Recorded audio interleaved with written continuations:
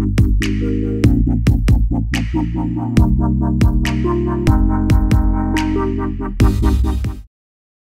high powered committee kila yakandu minta kasengi halor ke yeng dorba thau an ka bathamai havivanta shillong. Hakani ka jingelang la shimbanta da ulam phang ka yeng dorba thau an u chief minister kisambut menteri bat kiwe kiwe.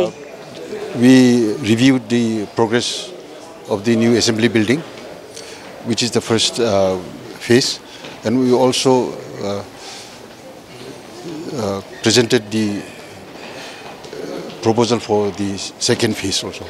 Second phase will include the uh, staff quarters, uh, MLA hostels, and the other health centers, schools, and so on. So, what were the agendas of today's meeting?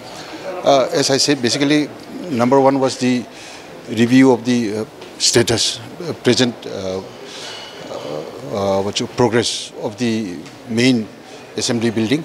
Then the second is item agenda number two was to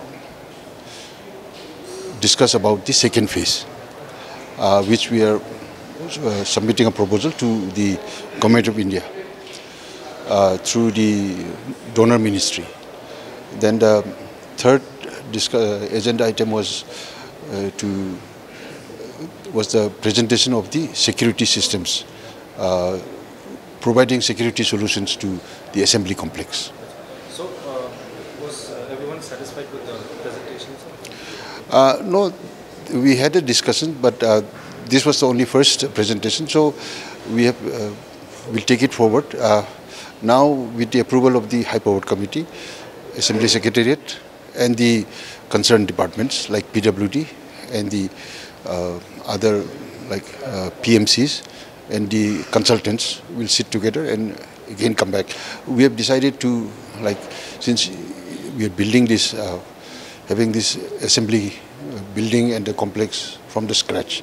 So we wanted to incorporate the traditional and cultural aesthetics in the interior, especially in the interior and around in and around the assembly complex.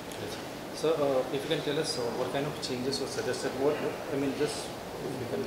Now, no, there are no changes actually, but the principle of uh, coming out with this, I mean, proposal for second phase, we also decided, and uh, without compromising on the, uh, the as, as I said, the cultural traditional aesthetics, uh, we have all agreed in principle that we, we should have, and also because we have 80 acres of land, but that looks very big, but actually when we put all the infrastructure inside, the space is not enough for us. That's why we have to, uh, I mean, plan accordingly.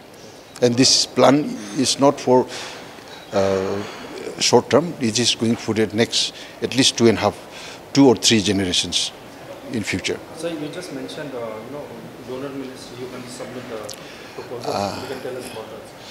Yes, uh, I had a discussion with the uh, government of India and the minister concerned, and uh, they have been very positive. But uh, we will know only after we submit the proposals how to go about it. Now uh, we are only submitting our proposals. Whether the government of India will actually accept or uh, consider, that is uh, to be kind of, seen later on. But we, we will try our best. Chief, Honorable Chief Minister and myself, we will be approaching them personally. Final question uh, about what, what about the clearing of the debris? Has the work started? Yes, no, the clearing is already done. Now, uh, small, I mean, uh, to build up the pillar for the main uh, center dome, so the construction is on. Uh, the, the debris is cleared. I think 90 percent or 99 percent cleared.